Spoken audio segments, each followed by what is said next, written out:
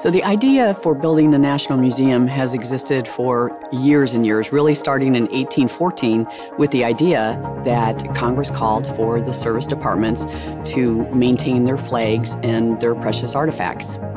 So developing an exhibit like this uh, requires a lot of historic research of photographs, what type of barbed wire to use, or what type of fence posts to use. All these details need to be correct and accurate in order to give the visitor a more interactive experience. When the visitor walks through, uh, they feel like as if they're coming, they're walking through the battlefield. So the visitor experiences some very unique aspects of the architecture of the facility itself. On the outside, You'll see the stainless steel. That represents the strength of the Army. You see the tower with the sixth floor with a, an illuminated lantern representing a beacon of safety and security.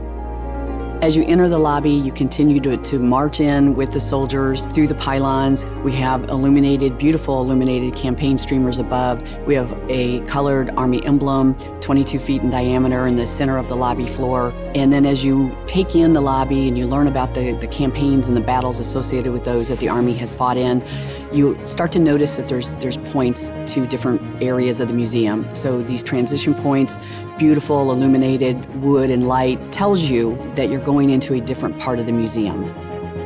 Another unique component of the museum is the Experiential Learning Center.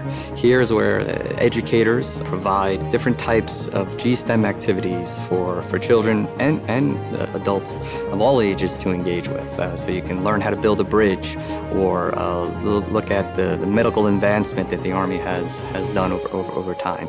It gives more education-focused way of teaching the history and heritage of the Army. But this is a home for our soldiers. This is a gathering place.